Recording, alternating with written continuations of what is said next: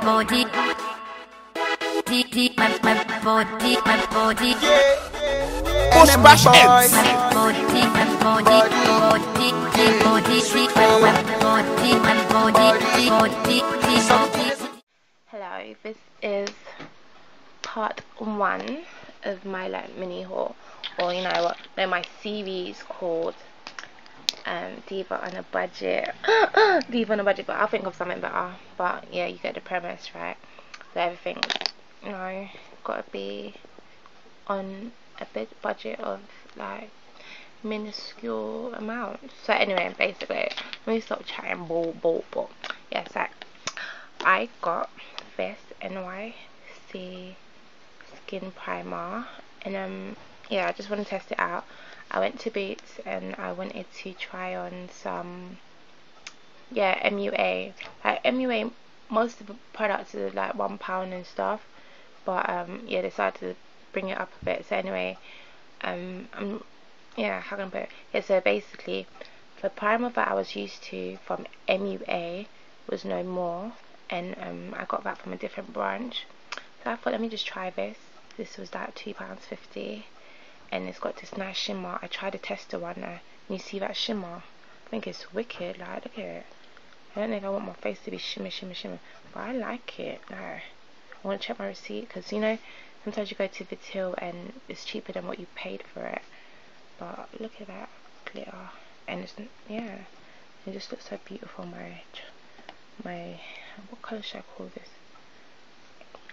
Wow, you can see it but yeah so that was one. I went to the pound shop or we call it oh 99p shop not pound shop sorry. And um they had some OPI and anyone who does nails and knows about nail polishes knows that OPI is a relatively expensive nail polish especially when you buy polishes which are like one pound. So OPI is like you can get them for like ten pounds a bottle, eight fifty or stuff like that. Especially if you go to places like Sally's. I'm sorry if you can hear that. I'm talking with a lisp. I got a filling done, and it feels like my teeth aren't closing properly. So um, I'm not trying to talk or speak any certain way. I'm just trying to speak with this, you know, this structure. So yeah, I got one pound well 99p and I got this one. But they're crackle like if it wasn't crackle I would have bought more of these but I'm not really a fan of crackle like, I might do one or two nails in crackle on my toes but I mainly bought it because it's OPI you're not going to find OPI in Sally's even on a sale for 99p are you now so I got the red one. And you know what? The funny thing is you can like overcoat it like do another coat on top of it which might cover over cracks or whatever.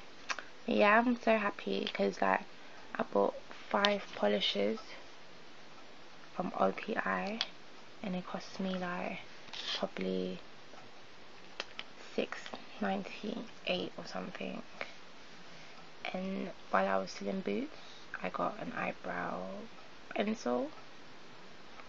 By yeah by MUA and um yeah.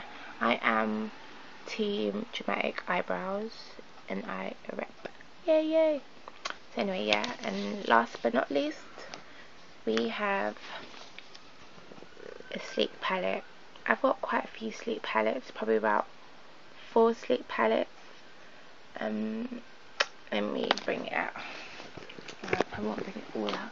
But yeah, I need to do like a what's my makeup tour type thing, like you know. But oh yeah, this is. Yeah. No, we're I know I got this sleek, so like no.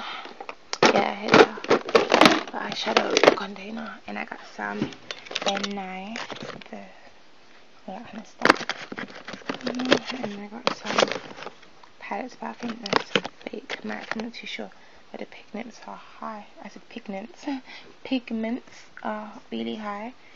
And yeah, um, yeah, I'll go through these in another video. And um, yeah, I just looked over at any baby far. I love that channel.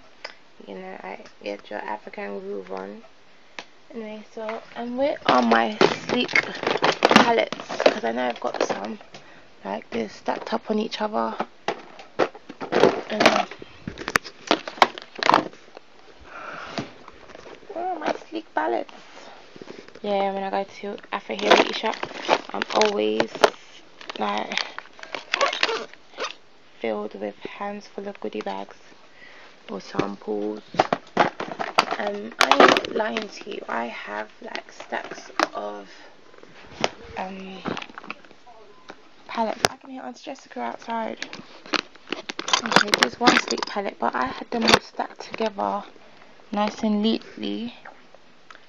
I don't really know where they are. But yeah, in another video, I'll show you all my little sleek palettes and stuff. Bye, bye, lovely.